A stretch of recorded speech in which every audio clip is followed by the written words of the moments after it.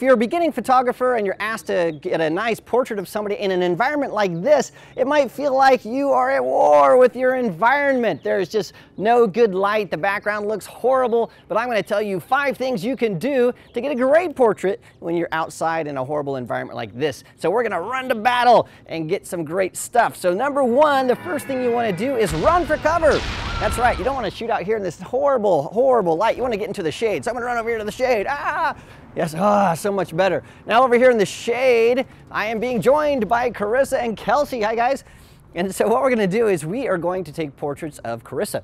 Now the nice thing is about running to cover is now we have nice soft light. It's not so harsh. And not only are we running to cover to find some kind of shade, it doesn't matter what kind of shade, you just need to get into the shade.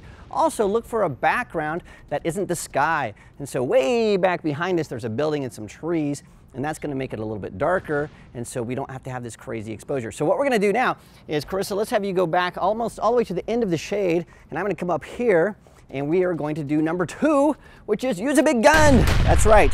On your kit lens, if you've got a camera with a kit lens, you'll notice that you have like a 55 to maybe two or 300 millimeter lens. Well, you don't want to get really close to your subject and use the short end of the lens. Oh no, you want to use the big guns. You want to zoom all the way in. And the reason for that is it's going to narrow the angle of view. It's going to clean things up. It's going to isolate your subject and give you a great shot. Now also, you need to set your camera to attack mode.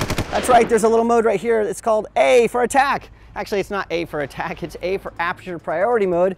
But if you can remember A for attack, that's gonna be great. What that will do is it will allow the aperture to open wide up and that will give you a nice shallow depth of field. Now, if you don't know what that means, it doesn't matter. What it really means is the background is gonna fall away. Now, one important thing to remember is you need to set your aperture value to the lowest number possible. So on this camera right now, 5.6 is the lowest number. So it doesn't matter what it is, just go to the lowest number possible. All right, the other thing we want to do is we want to blast them. That's right, we want to use a flash to really make things pop. To help me out with that, we have Kelsey, and Kelsey has this.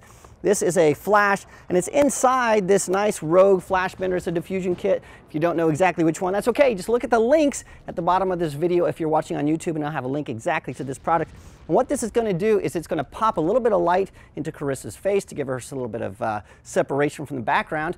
But we don't really want to just have a bare flash. Oh no, we're going to blast them. But number five, we're going to soften the blow. So we're adding this nice diffusion panel so we get nice soft light. So we're going to have Kelsey go all the way really close to Carissa. We're to put all these things together. We ran to cover. We're using our big gun. We have our camera set to attack. We're to blast them and we're to soften the blow. Let's put all that stuff together take a few shots and I'll show you how this works.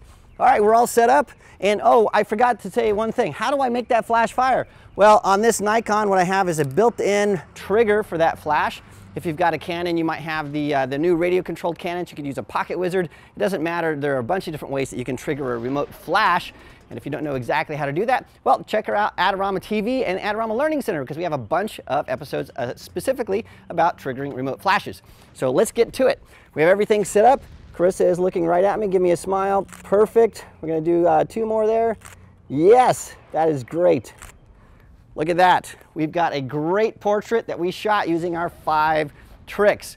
So there you have it. Remember, run to cover, set your camera into attack mode, use a big gun, blast them, and soften the blow. You're gonna get some great portraits that work every single time.